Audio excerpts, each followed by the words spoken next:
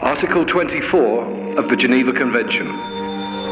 Medical personnel exclusively engaged in the collection, transport, or treatment of the wounded and sick attached to the armed forces shall be respected and protected in all circumstances.